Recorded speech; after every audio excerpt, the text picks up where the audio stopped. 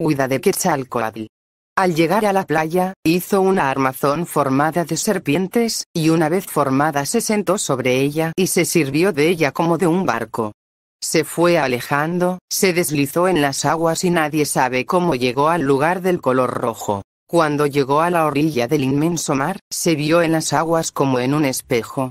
Su rostro era hermoso otra vez.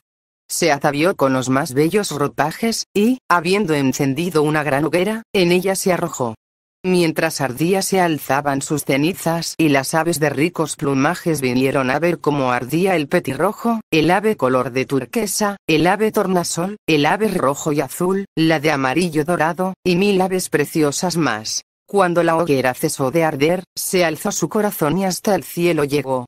Allí se mudó en estrella, y esa estrella es el lucero del alba y del crepúsculo.